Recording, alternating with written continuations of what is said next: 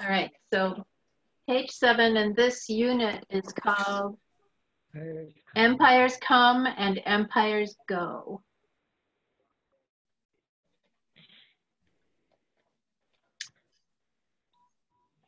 So last week when we talked about the beginning of the timeline, we talked about the fact that God created everything.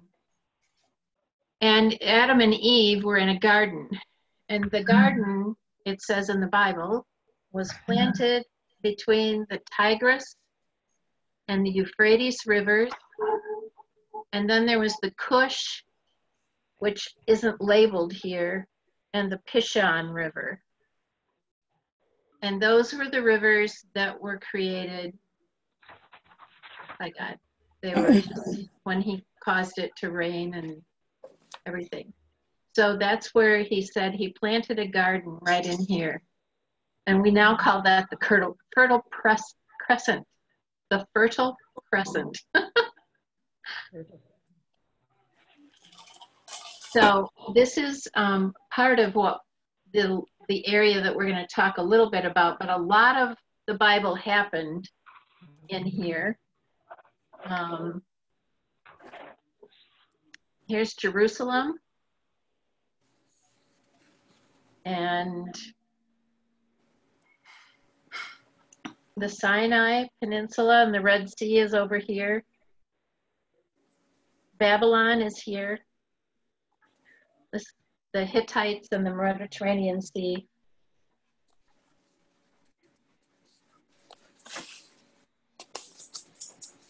Hi, buddy. Where are my glasses? they were on my head. So in illustration two, um, well, I'll start with the beginning paragraph. Some people think that the Bible people, like the Israelites or any of the people, the Hittites and all of those, that they lived in cozy comfort, insulated from history of the surrounding nations, devoted themselves wholeheartedly to worship and service of God. That's not true. They lived among superpowers that were constantly at war with each other, and they worshiped a variety of gods, even though God said, don't worship other gods um, especially if they married somebody who wasn't from the children of Israel. And God warned about that. God said, you know, don't do that because it's just going to confuse you. So in illustration two, this illustration here,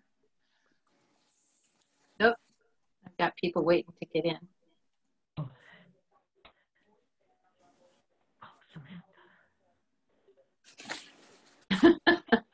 Hello. Hello. Hi, Mhm. Cindy. Will you have to let us in every time? You know, I tried to change that earlier and Okay. it didn't work. So I'm Okay. going to go back out and try to change it again. Okay. And maybe it's I didn't know if it was something on my up- end. Well, when I set it up originally, maybe it um, it won't let me change it now. So maybe I need to back out and reset it completely Okay. new. So Okay. I will send out a new address if that's the case. Okay, perfect.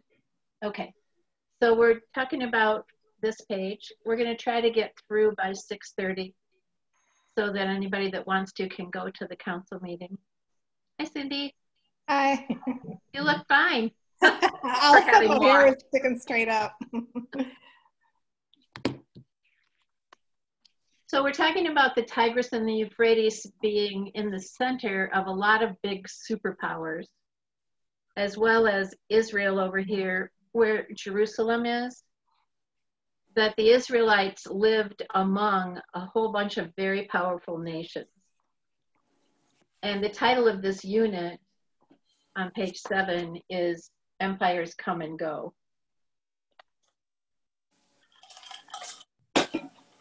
And in illustration two, it depicts what might be termed as an astronaut's view of the Mediterranean world, in which the biblical narrative unfolds. The major players in that narrative, which is in the Mediterranean. The name Mediterranean comes from two Latin words that mean in the middle of land. So, Mediterranean. the land of Canaan, which is the white circle here, is located at the center stage. The Israelites who settled in Canaan were the descendants of Abraham, Isaac, Jacob, the patriarchs. And then David captured Jerusalem and made it his capital.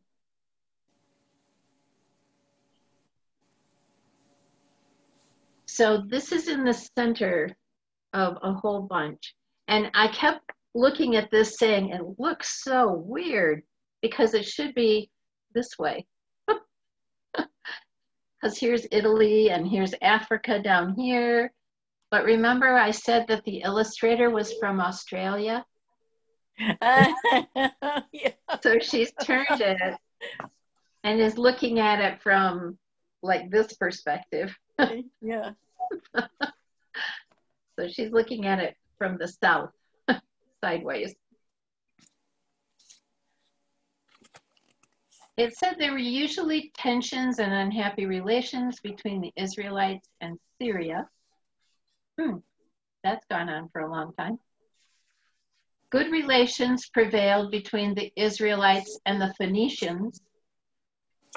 The Phoenicians were seafaring people, the Israelites were not.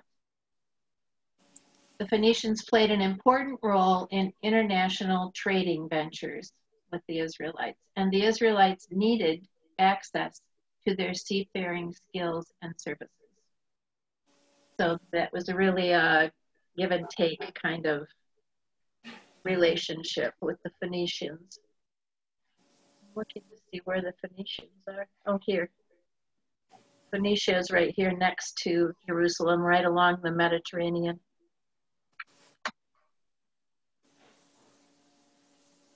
The region between the Tigris and the Euphrates River is known as Mesopotamia, a name derived from two Greek words meaning between rivers.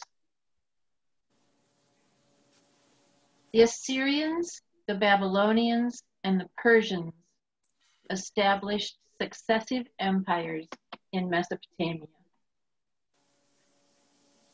So Babylonia, Babylonia is here, Persia is here, Syria is up here. And it says, the Babylonians conquered Assyrian or Nineveh in 612 BC, and Cyrus, the Persian, gave, gained control of Media in 550 BC. So in BC, we go down in numbers as we get closer to Christ's birth.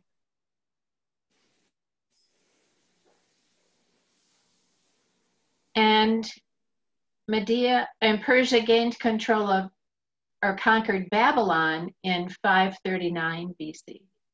Then the Greeks, under Alexander the Great, ravaged Persepolis, a major Persian city, capital city, in 330 BC. In 40 to 37 BC, the Parthians, which are not shown, to the northeast of Media, so they are this way. So they helped Antigonus, a descendant of the Jewish rulers, gain control of Judea and Jerusalem and block Rome's land bridge to Egypt. So they came across here and Rome is here in Italy. So Rome would have come down here and if you can see it. Rome would have come down here and across the land bridge, which is Israel, but it was ruled by the people who took it over, and they blocked Rome from coming across here to Egypt, where Africa is.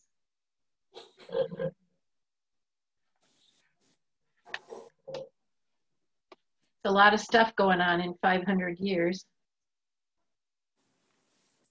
The Hittites, the Assyrians, the Babylonians, Persians, Greeks, and the Romans consistently cast covetous eyes on Egypt, whose fertile Nile Valley was the breadbasket of the ancient Mediterranean world. And when these ancient superpowers set out to plunder Egypt's resources, they naturally marched right through Canaan along the way. The Mesopotamian nations could not follow a direct route to Egypt, but had to travel between the rivers and down the Mediterranean coast to ensure mm-hmm. access to food and water. Because here is that horrible Saudi Arabian desert down in here. So they couldn't go across there. There was no food or water. So they had to come here and follow the rivers. They had to come up the rivers and around and over to Egypt. So Egypt or Israel was constantly being traveled through and marched through and plundered. The Egyptians were aware of the ambitions and needs of their northern neighbors, and to discourage invasions by them, the Egyptians built a series of fortresses along the Mediterranean coast. The northernmost of these was located at Carchemish, which enabled the Egyptians to block the advance of Mesopotamian nations and discourage the empire building dreams of the southern European powers. So Italy, anything over here in Europe, Turkey, on down, all these nations down here that were big superpowers, they were blocked here by an Egyptian fortress or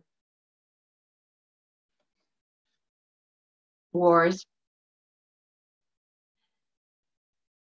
Because the nations believed that their gods led them into battle and gave them their victories, they usually placed symbols of the gods of conquered nations in their shrines. And the symbols of their gods in the shrines of those who they conquered. So they removed the gods that they conquered and put their symbols in those shrines and then took the others and because they were conquered. Um,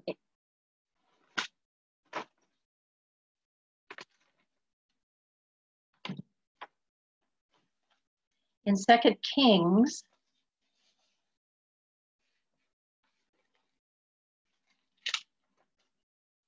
All right, the first, um,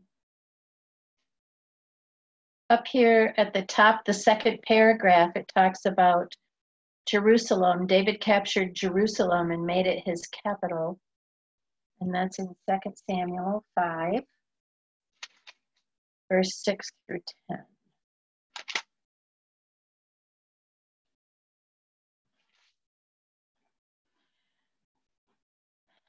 The king and his men marched to Jerusalem against the Jebusites, the inhabitants of the land, who said to David, You will not come in here.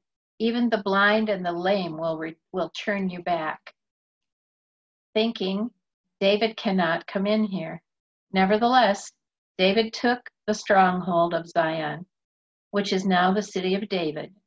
David had said on that day, Whoever would strike down the Jebusites, let him get up the water shaft to attack the lame and the blind, those whom David hates.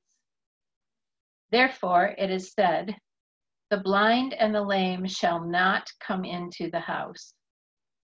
David occupied the stronghold and named it the city of David.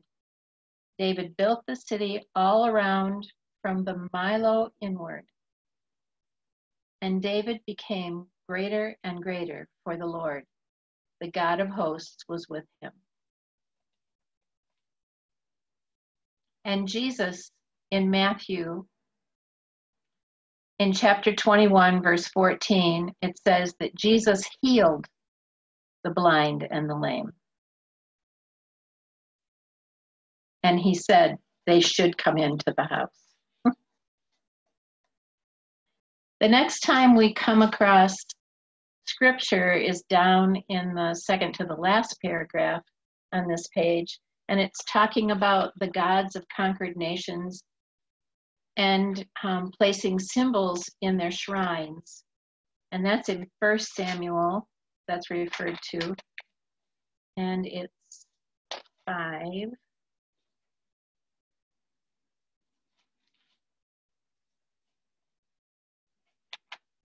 First Samuel's longer than I thought. okay. When the Philistines captured the ark of God, they brought from Ebenezer to Ashdod. Then the Philistines took the ark of God and brought it into the house of Dagon and placed it beside Dagon. So, First Samuel is way before David.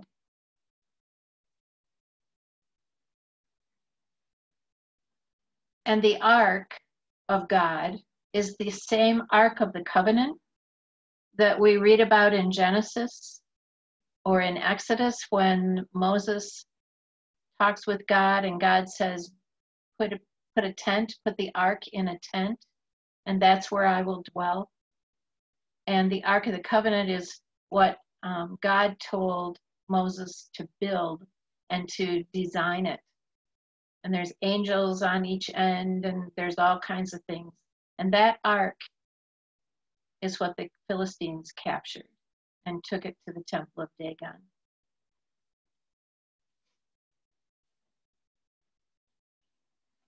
And then in Second Kings,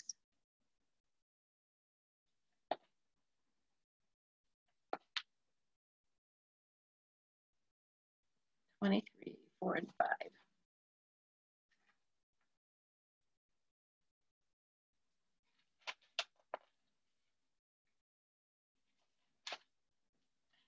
Okay. The king commanded the high priest, Hilkiah, the priests of the second order, and the guardians of the threshold to bring out of the temple of the Lord all the vessels made for Baal, for Asherah, and for all the hosts of heaven. He burned them outside Jerusalem in the fields of Kidron and carried their ashes to Bethel. He disposed the idolatrous priest, deposed the idolatrous priests, whom the kings of Judah had ordained to make offerings in the high places at the cities of Judah and around Jerusalem. There were two groups of priests that they did this with. Those also who made offerings to Baal to the sun, the moon, the constellations, and all the host of heavens.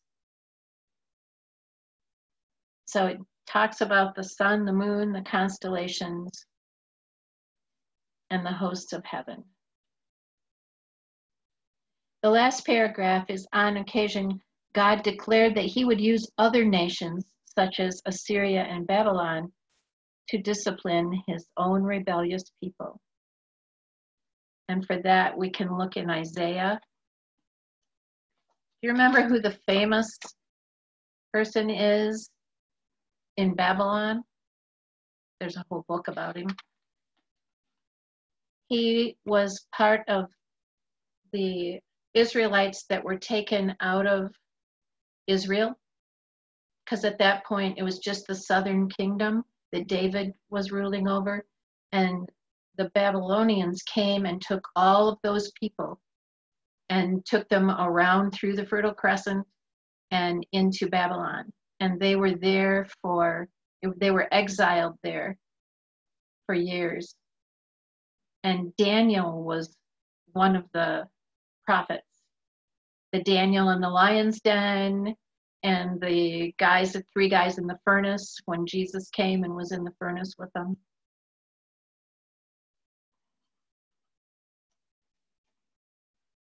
So Isaiah 10:5 says, Ah, Assyria, the rod of my anger, the club in their hands is my fury. And then in Jeremiah,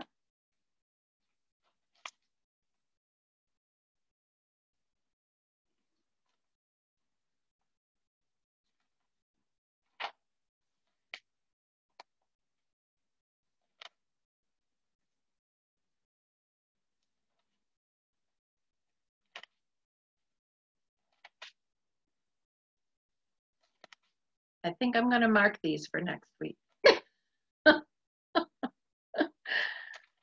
All right, Jeremiah chapter 27, verse 6.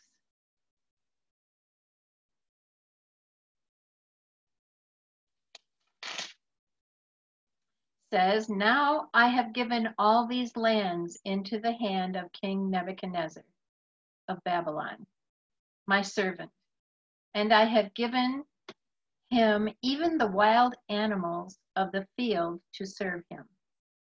All the nations shall serve him and his son and his grandson until the time of his own land comes. And then many nations and great kings shall make him their slave. So he gave all of the Israelites into the hands of the Babylonians. There are many, many things in our Bible prior to all of this. I mean, it's all throughout the Bible. Um, the land of Canaan, Abraham went from Haran, which is north of Israel or the land of Canaan. And God said, Go down into that land. It's a promised land, and I'm going to give you that land, you and all your descendants. Your descendants will be as many as the stars. And remember, Abraham and Sarah didn't have any children. And they grew really old until God finally gave them Isaac. So, any comments or questions on this part?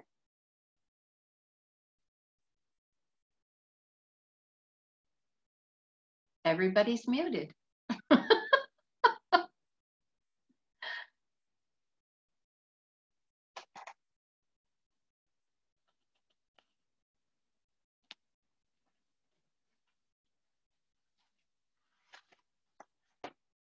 All right, I have questions. You can unmute yourself now.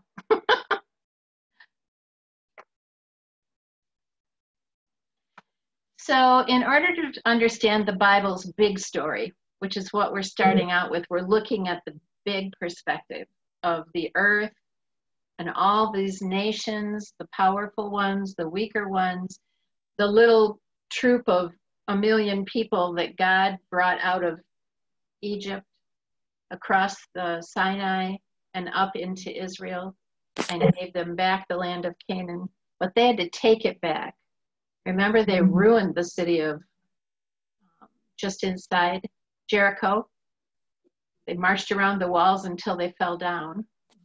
So the people, and God said, when you take a city, don't keep any of the spoils. Don't keep any of the, don't marry the people.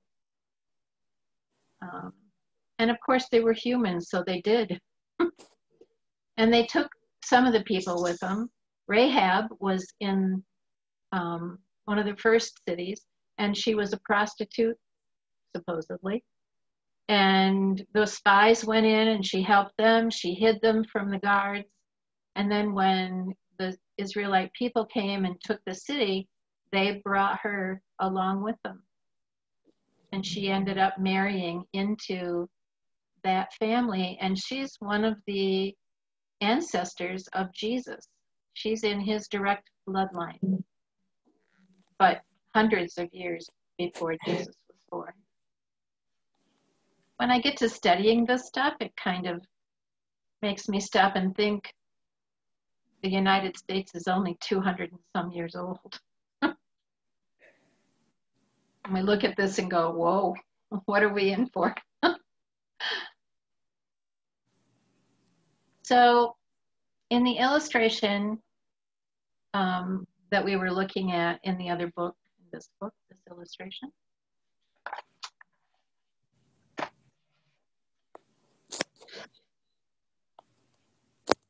if we refer to that in the accompanying notes, to make yourself familiar with the location of the countries that we talked about. The Hittites lived in what we call today Turkey. So right here's Turkey.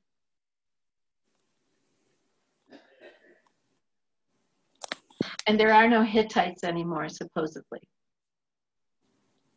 So we shouldn't tell ethnic jokes, but it's okay to tell an ethnic joke about a Hittite because there aren't any.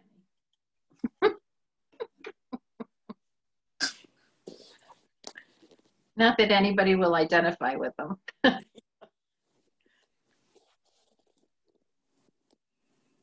Many people believe that the Old Testament narrative is merely about heroes and good people are waiting anxiously for God to send a Savior from sin. However, those who undertake a journey through the scriptural storyline using the biblical roadmap laid out and see through the scriptures discover that the Bible's big story is a complex and challenging one. The illustration below on this page depicts a gavel symbolizing God's judgment descending like a hammer on what some refer to as the promised land. Can you see that? I'm on page three of the workbook. So there's the hammer coming down. According to the following passages, whom would God use to discipline his people in that promised land? We just read it. Does anybody remember? Is that Nebuchadnezzar? Yeah, So that would be the Babylonians? yes.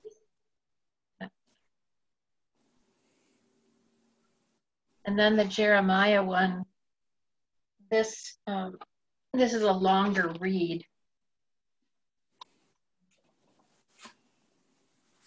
In Jeremiah, it's, we read the beginning of it. Now I've given all these lands into the hand of King Nebuchadnezzar. All the nations will serve him until the great kings make him their slave. But if any nation or kingdom will not serve this king, Nebuchadnezzar of Babylon, and put its neck under the yoke of the king of Babylon, then I will punish that nation with a sword, with famine, with pestilence, says the Lord, until I have completed its destruction by his hand. You, therefore, must not listen to your prophets, your diviners, your dreamers, your soothsayers, or your sorcerers, who are saying to you, You shall not serve the king of Babylon. For they are prophesying a lie to you, with the result that you will be removed far from your land. I will drive you out, and you will perish. But any nation that will bring its neck under the yoke of the king of Babylon and serve him, I will leave on its own land, says the Lord, to till it and live there. And God did take the people back to Israel. It was later, probably after a couple of generations went by.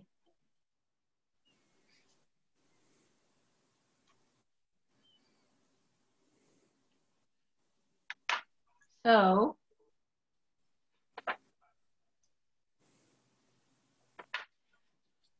let's have a prayer now, and then let's talk about the timeline for a few minutes.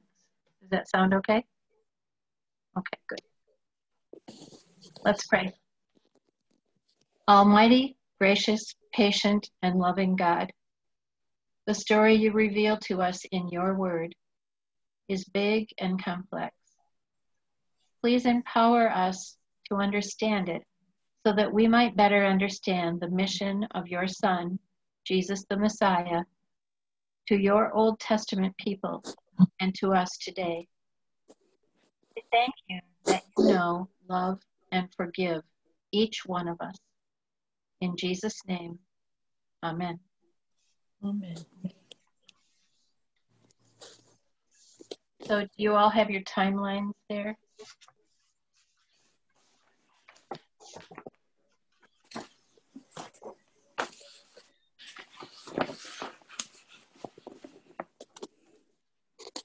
Last week we talked about how this first section, and this is the part that I'm going to talk about again today.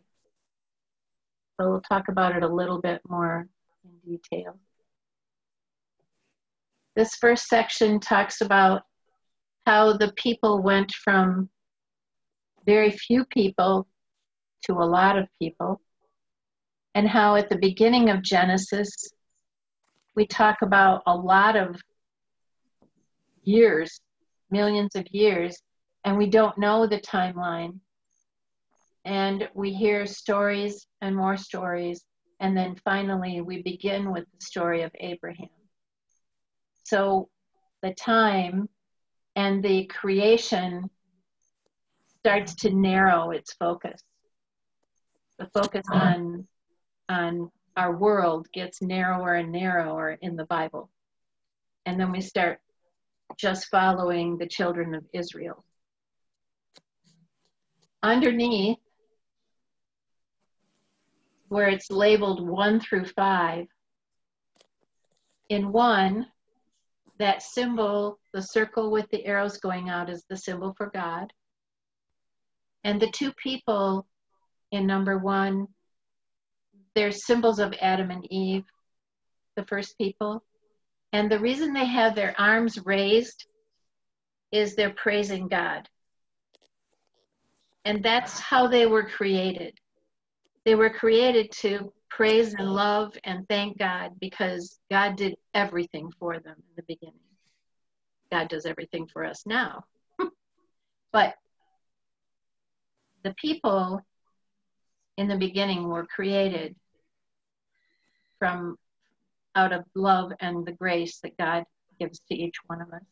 So underneath it says Genesis 1 1 2 through 2 4, 1 through 2 4. In its teaching graphics, the Crossways International uses a circle with four protruding arrows as the symbol for God. Beneath it, and the circle means God is one without beginning or end. Protruding arrows mean God acts in love, which always goes out from God. And beneath it are reminders that God created the universe, the sun, the moon, and the stars, trees, birds, animals, streams, fish, people who were to know and praise God. Four major narratives followed after that. By knowing and knowing God, it always, I don't know, I just get overwhelmed thinking about God walking around in the garden. I can't imagine it. I mean, they were on a first name basis with God. and they still disobeyed him.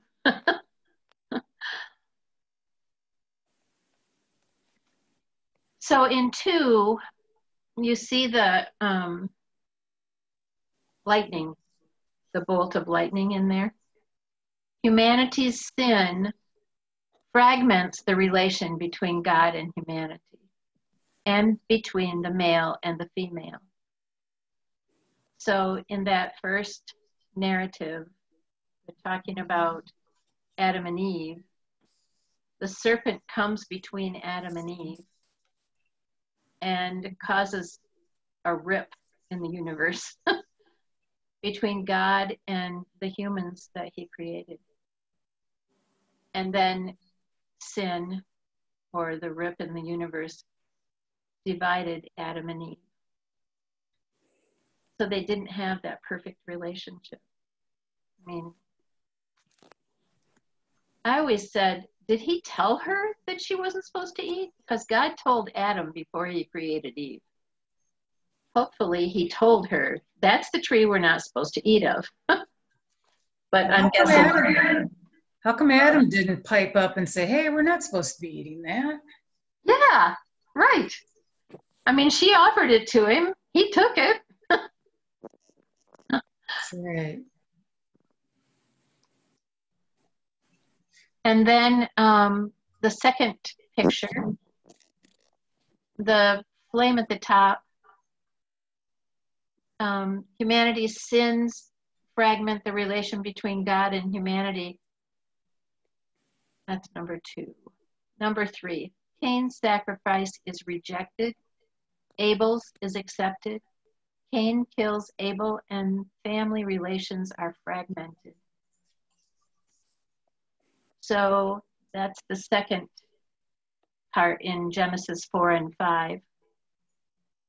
It's where Cain um, brings an offering to God and God rejects it, and Abel brings an offering to God, the first fruits of his labors, and God accepts it and loves it, and Cain gets jealous and kills Abel.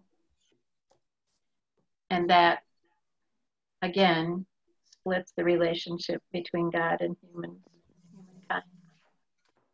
In four, which is in Genesis 6 1 through 4, it describes the divine beings being sexually intimate with earthly women. Cosmic chaos results, and God puts an end to creation one through a flood and commands Noah to build a large ark to preserve human and animal life and makes a new beginning to creation and history through Noah and his family. And that's in Genesis 6, verses 5 through Genesis 9, verse 29. So it's the whole generation, everything that happens with Noah is in that part. The 40 days and 40 nights, 40 is a number that we see throughout the Bible. And it's um it's a number like haven't I told you a thousand times not to do that? It's it's um a lot of theologians call it um, it's a biblical number. Four is representing the four corners of the earth north, south, east, and west, even though it's not square. One of my kids said, But the earth is round, mom. There's not four corners. um, so that times 10 is 40. 10 is a perfect number, a number of completions. So a lot of times when you see 40 days Jesus was in the wilderness 40 days. The wilderness is an earthly thing, and it completed Jesus' time in the wilderness. And then he came out and was ready to begin his ministry. So I didn't know they had cars back then, but the Holy Spirit drove him into the wilderness. so, um, that began the 40 days of his fasting and the devil tempting him while he was there. And it was sort of a, okay, now you're ready to do your ministry, and this is what's going to happen. we think he was about 30 years old, 30 being a triune number and a number of completion, 3 times 10 is 30. Um, a lot of people felt that men were ready to begin um, married life and ministry and all of that at the age of 30. 12 is another biblical number. We had 12 apostles. Jesus was 12 years old when he went. Um, so you see some of those numbers get repeated over and over. We think Jesus was probably about 12 years old. so, um, so the 40 days and 40 nights of rain happened. And then God gets really detailed in the building of the ark. You know, use gopher wood and make it this long and this high and measure it with your arm. This is a cubit from your arm. So that's pretty cool. So God made a new beginning to creation. He didn't destroy the earth, and He kept humanity alive through Noah and his wife, and then Ham, Shem, and Japheth, his sons, and their wives. So they went on to have more family. Number five is the people begin to build a tower to reach heaven, to make a name for themselves, and to avoid being scattered. And when God halts the project by confusing their languages, humanity is fragmented and scattered. So we know there was a lot of people on the earth by then. So it was probably several thousand years between Noah and them getting together to build this tower. And they felt if they could build a huge tower and get above the clouds, that they could become like God. And God didn't want them to succeed at that, so He confused their languages and scattered them. It's possible that that happened before the Pangea, where the continents divided. Myra, you're saying something, but you're muted. I can't hear you. I'm just repeating what you say. I'm talking to myself. Okay. okay, you can mute yourself again, I guess. My husband's mowing the lawn. It's very noisy, so I want to stay muted. okay.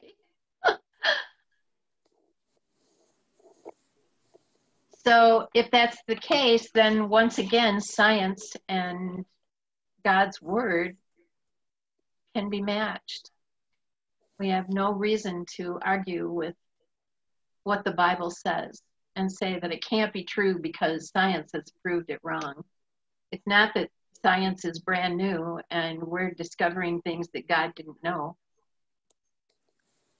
So, if that's the case, if by some chance the the earth was all in one spot, the ground was all in one spot. When the flood happened, it probably caused some waters to go between the mountains and all over. But then at some point, or at many points, the Pangea began to happen and continents moved. Dinosaurs died. People were on different parts of the earth. Native Americans and Native Russians and Native Hittites. I don't know what happened to the Hittites.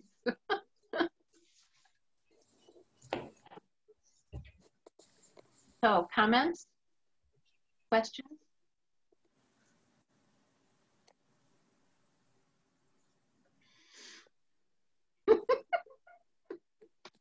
This is this is the huge part of the narrative. It's kind of overwhelming. It's big, and um, the study is trying to give us the big picture, and then we're going to come down into a smaller picture. And in the next couple of units, some of the things that we just talked about on the timeline are going to um, be talked about. So we're going to talk about the books of the Bible. Um, we're going to talk about humanity and what we're like. so it's going to get um, a little more detailed. And we're going to understand more and more um, what, you know, God promised us things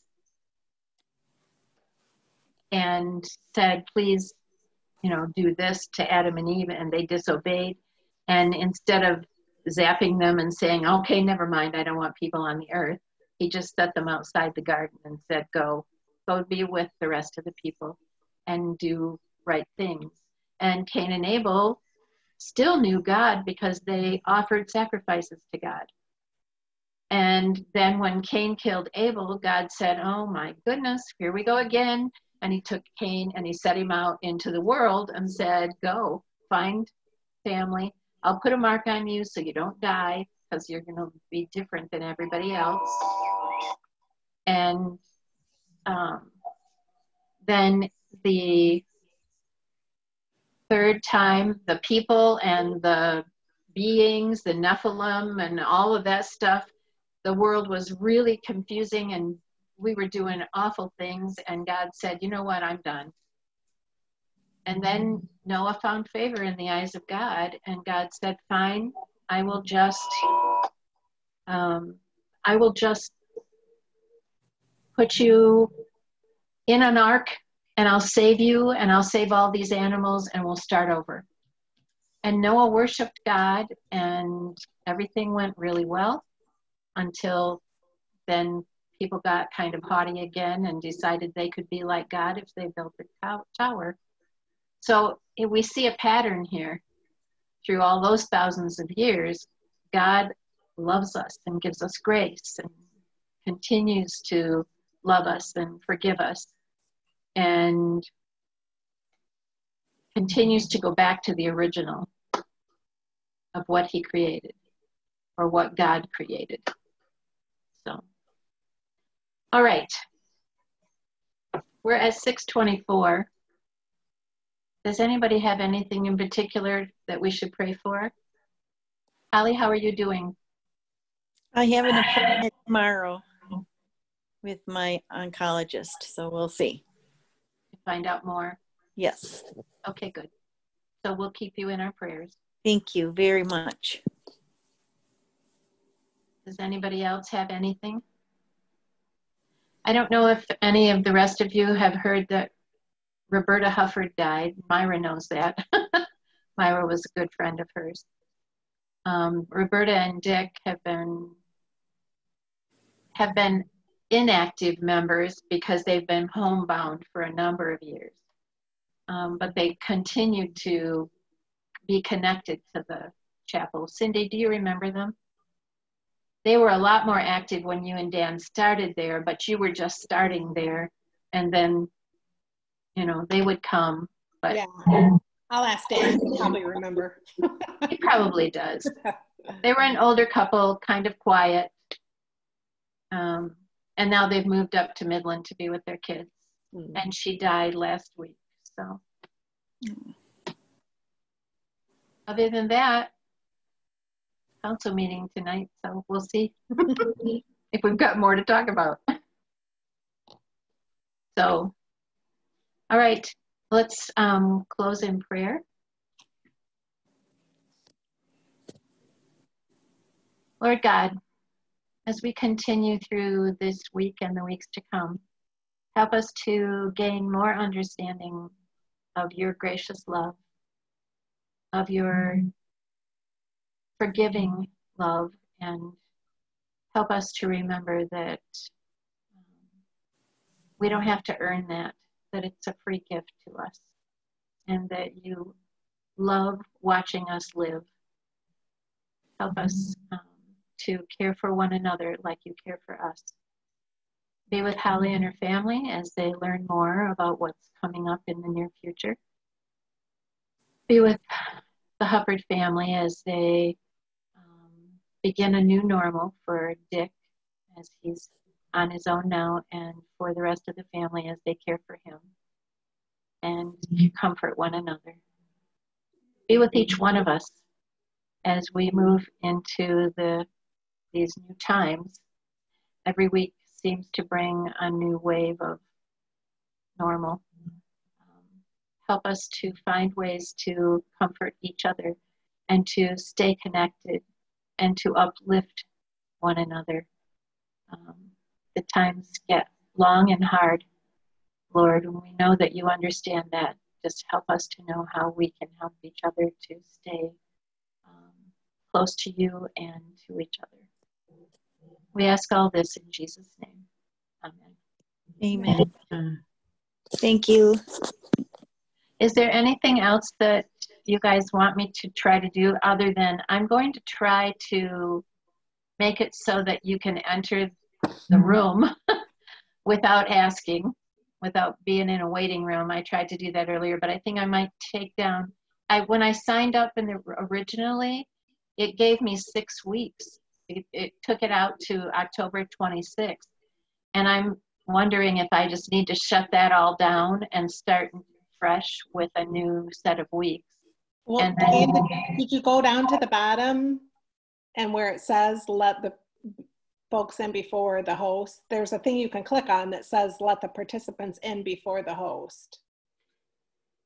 There's a participants thing and a security and a screen share. Is that it? No, when you when you when you set it up. Like originally when you go to Zoom and set it up. Oh, yes. I, I went to settings today and tried to change all that stuff so that you could get in beforehand. Yeah. And then, like, if, if there's a week that I can't be there, I can assign right. someone else to be the host and come and, you know, work through that week with you guys. Um, but it doesn't seem to have worked Oh, okay. because don't then you- tonight I, go ahead, Susan.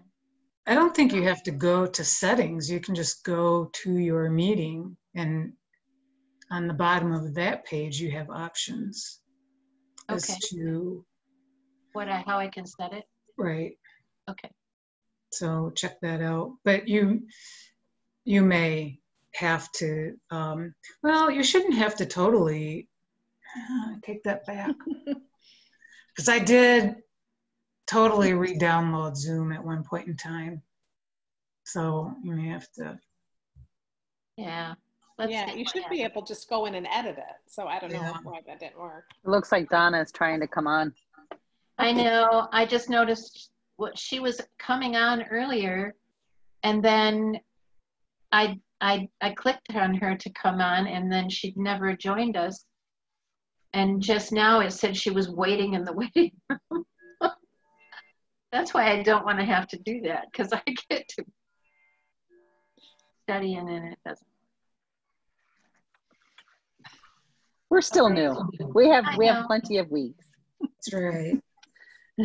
All right, I'm going to take off. I'm going to try and um, do the council meeting too.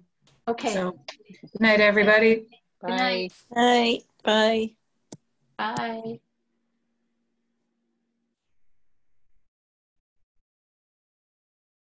Bye, Myra.